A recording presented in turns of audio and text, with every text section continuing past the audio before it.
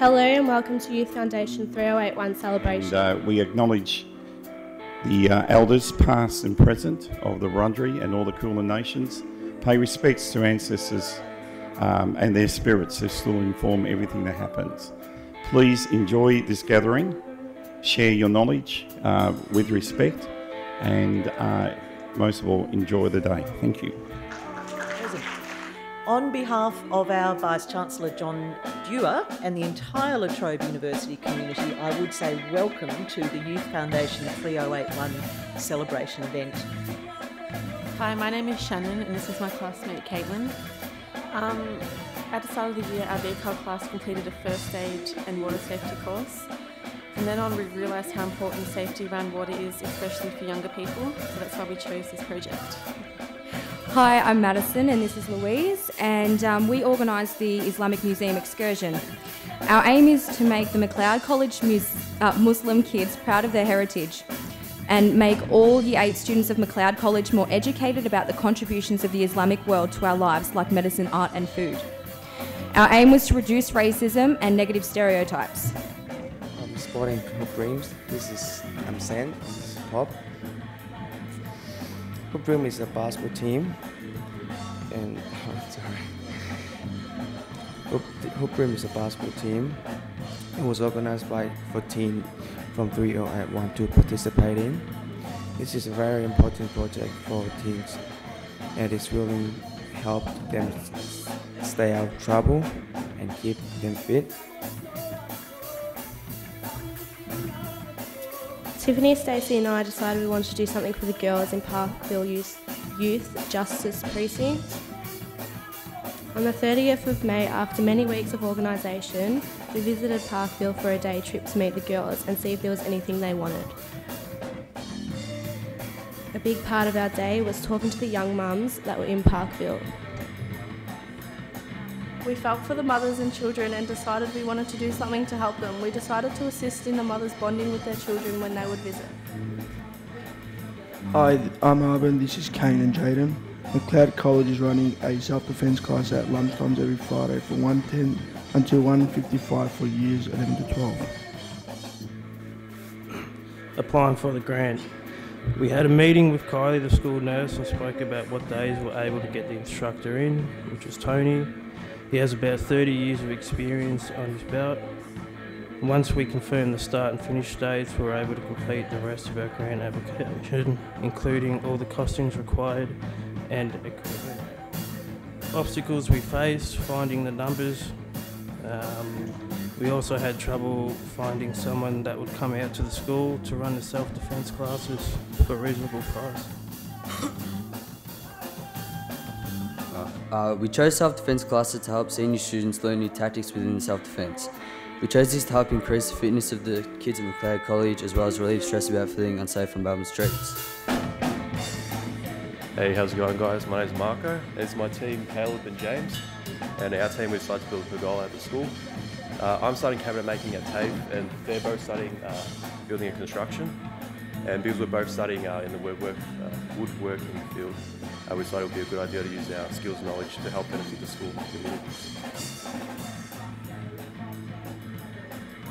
Hi, uh, my is Benji Gersh and I'm a teacher at Parkville College and I just want to have a quick chat about some of the projects that we've been lucky enough to get funding for. Um, so first of all, it's probably worthwhile talking about the Macleod girls who funded Toys for Our Girls. So some of our students have kids of their own and when they come to visit, um, the smiles on their faces when they're playing with the toys is just unbelievable and when the kids leave with a beaming smile, having played with their mum or dad actually, and played with toys instead of sat in chairs and looked at each other across a table is a huge difference in what's going on at our school.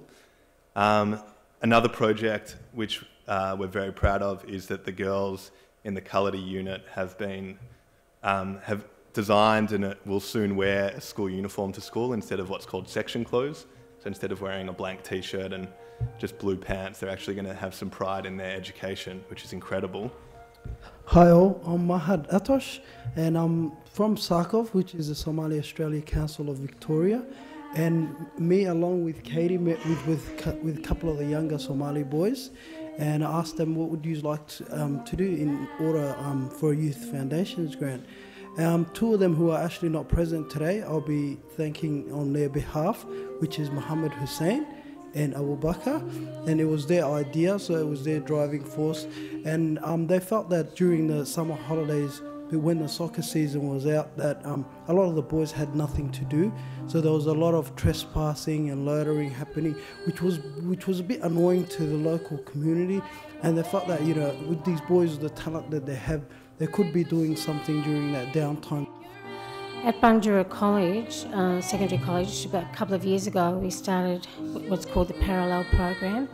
The Parallel Program was introduced for students who are in mainstream and are finding it difficult to attend school for various reasons. It could be trauma related, things that are happening outside of school. So, for those who don't know, the Pavilion is a school that offers a lifeline to young people who, for whatever reason, isn't given the chance to complete their schooling in a mainstream setting. The Pavilion enables us young people to dream again and to choose a future we want for ourselves. Good afternoon, members of the Banyule Council. I'm Tiana, and this is Ari. Um, we're here today. We're here today to share with you our personal development skills community project. Hello, everybody. My name is Celeste, and I just would like to thank Nan and Katie for the money for the Aboriginal Deb 2014. Thank you for celebrating our projects with us. I speak on behalf of all the young people represented today when I say thank you to Youth Foundations 3081 for the opportunity to fund our community projects. We also acknowledge that Youth Foundation would not be possible without the supporting partners, naming, namely the Heidelberg and East Ivanhoe Community Bank branches of the Bendigo Bank, La Trobe University, Banyule Community Health and Banyule Council. I would now like to invite Nan Capel, Deputy Chair of the East Ivanhoe and Heidelberg Community Bank branches, the Bendigo Bank, to close today's celebration. Thank you.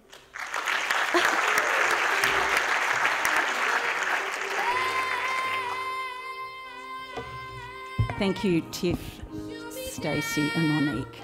There's lots of words to say in that. The great thing about Youth Foundation 3081 is that our young people have come up with their own ideas, their dreams, and their goals, and through the Youth Foundation 3081 program, successfully applied for a grant. And then they've actioned these ideas, these goals, and these dreams, and witnessed them come into life. And then they bear witness to the empowering experience and the many positive outcomes that come from realising these goals and dreams, far more than you would have imagined beforehand.